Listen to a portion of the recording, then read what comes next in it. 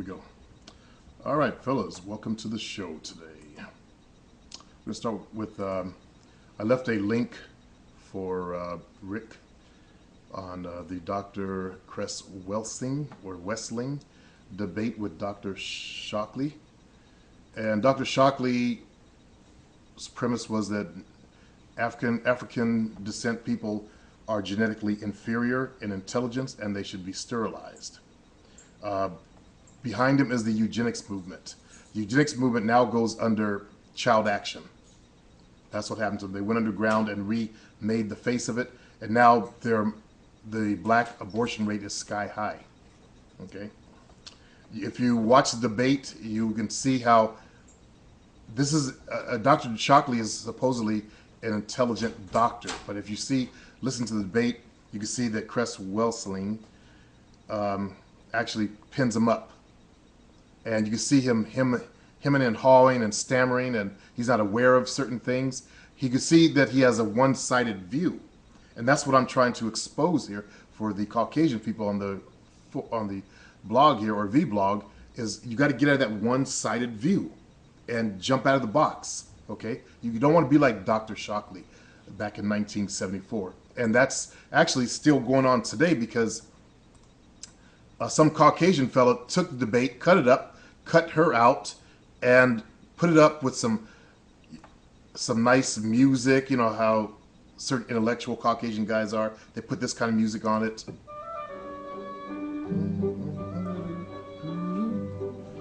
Oh, brother.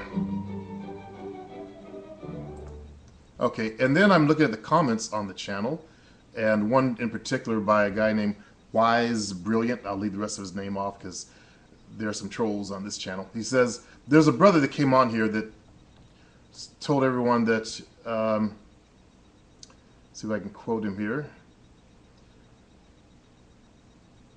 Uh, his sister scored 1530 on the uh, the SAT test back then and his brother scored 1580 and he only scored 1510 and however he says anything above 1500 those days was, was considered outstanding.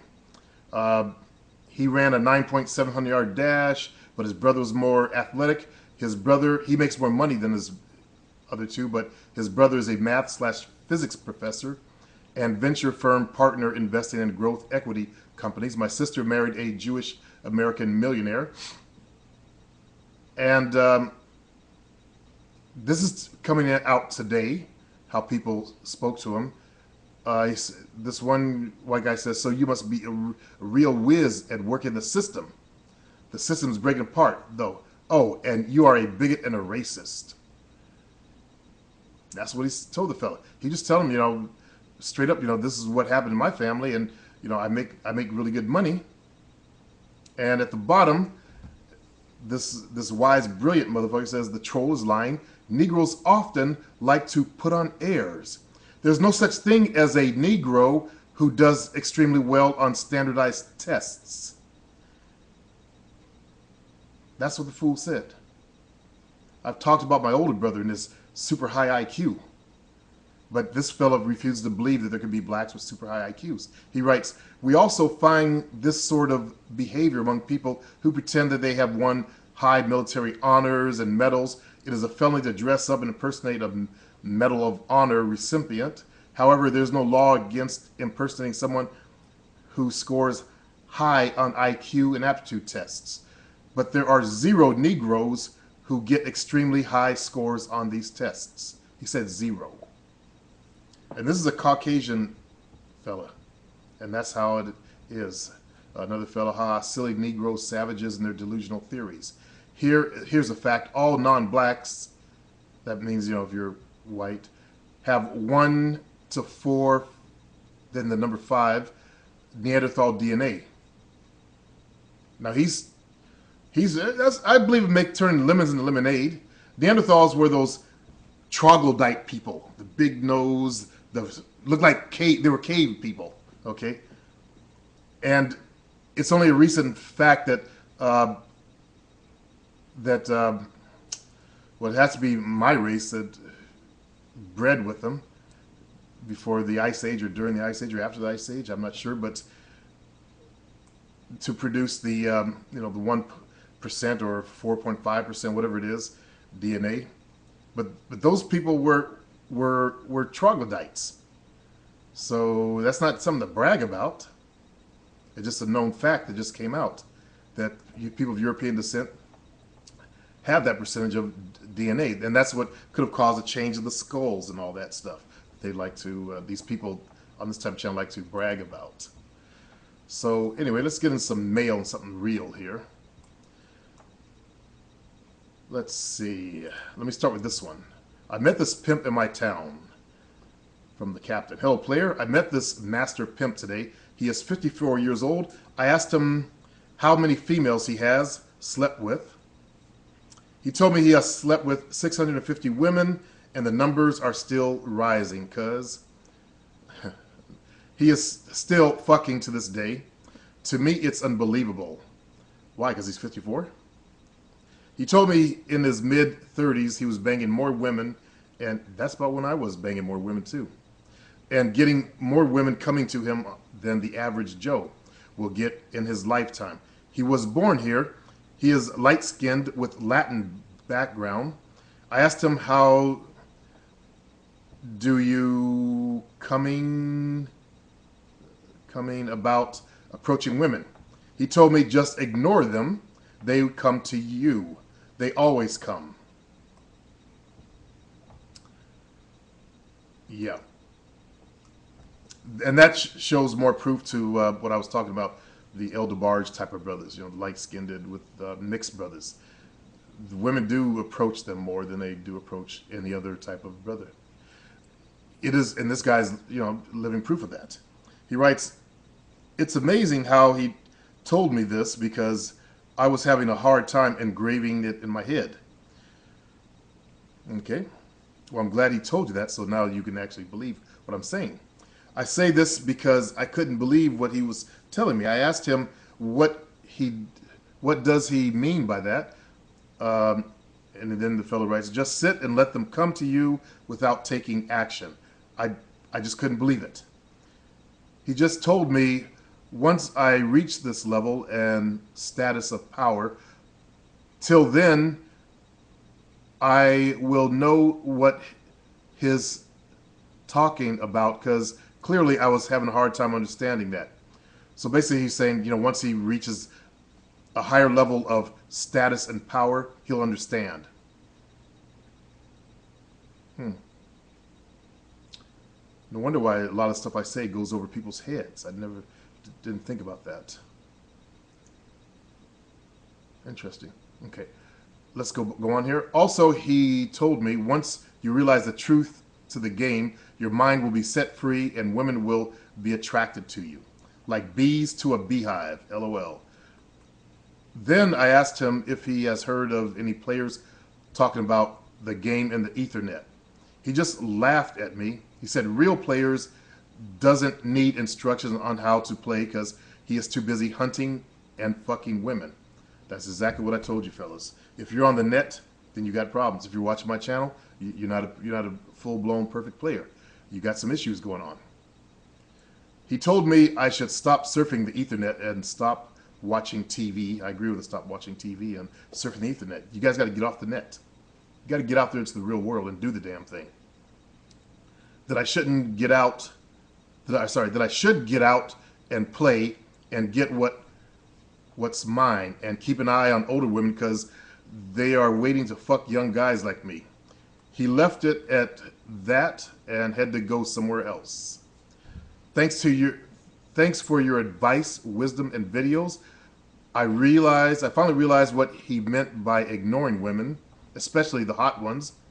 I finally grasped the truth the truth, it to never ever give your power away because once you do, you can't have it back. It a point of return. Oh boy. It's hard to read bad grammar, brother.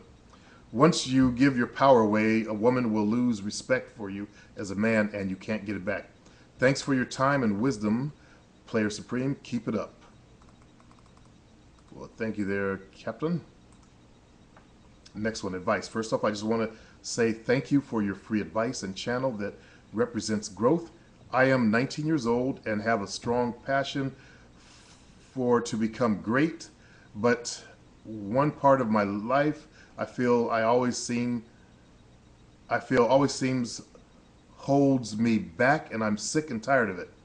Every time I'm around really attractive women, I get nervous. Yep. So do a lot of other brothers. It's no big deal.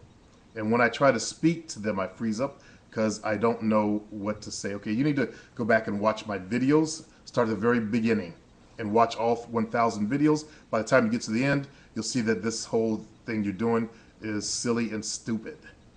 You'll stop taking them off that you'll take them off that pedestal you put them on. You mentally put them on that pedestal of hotness. Okay, and that's why you get get all frustrated, flustered like a schoolgirl. Okay. Let's see.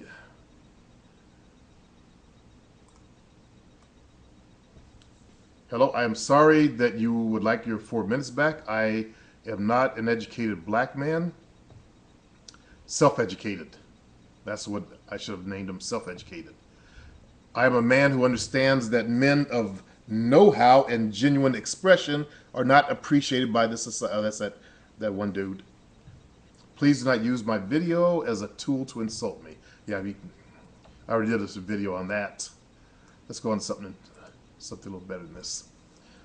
Gym memberships. Hey, player, love everything you do, but I think you should warn the people who listen to you about gym memberships. I agree with building muscle and everything, but this one gym I went to wouldn't let me out of my membership unless I was moving at least 35 miles away or had a doctor's note. I just don't want these guys to get fucked like I did. Well, actually, you signed a contract, comedy kid, and I, I have to take the gym side. You know, a lot of people try to get out of the contract. You shouldn't be trying to leave the gym, period. Okay? No matter what, you should try to hold on that gym membership is, is even if it's your last dollar, instead of trying to uh, go there when you feel like it and then sneak out on the contract. Because that's where I, I remember I've come from that environment, and that's what people do. So, you know, you sign you sign a contract, and they don't want to let you out because it's a contract. Well, because a contract, if if um, every person just said, okay, I don't feel like training for a few months, I can't afford it or whatever, and then off they go. Okay, so you sign a contract to pay them, you know, and it's not that expensive either. So it is hard to get out of these contracts, like any contract should be hard to get out of, you know. In fact, I don't think they should have the doctor's excuse to let people out of it. Myself. Uh, anyway, there. I'm trying to show you the other side to this equation. Okay, the gym's there to make a profit, and they know that most people will sign up for the gym and they won't come. And I don't know if that's your situation, but that's what the, a lot of the situation is when they try to cancel it. They just don't go to the gym. And you really want to get yourself into the gym, brother. Uh, I don't just spit this advice just to blow smoke up you guys' asses. I'm trying to give you real advice that will work in your real lives off the internet. Okay? So you fellas who haven't taken up on uh, like going to Toastmasters and joining the gym, I, I, I still get it every day, or at least once a week, a couple times a week, or somewhere in there. Uh, people who say they've um, finally joined the gym, or I see it on my forum, or I see it at a place I go. They finally joined the gym, or they finally joined Toastmasters on my forum. And I've been shouting about it for I don't know four years now. Join Toastmasters. It'll help you become a better speaker, but it also helps you conquer your fear and teach you how to have power, poise, and presence when you open your mouth. And that's what you want. That will that will allow you to gather the respect or gain the respect of the women that you talk to. Okay, they can listen to your voice because some women are very, very auditory. They tune in on the voice and the sound of the voice. That's why I advise that that one dude that thought I was attacking him to really change your voice and I see nothing wrong with bettering yourself out there in the world. Some people like to sit back and wait for things to happen, and some people get proactive and do it. Okay, and I want to talk about that in my next show because I just uh, did a post on my forum about that. The well wishers versus the people who who truly become proactive about their lives. They get out there and do the work like I've done in my own. Peace.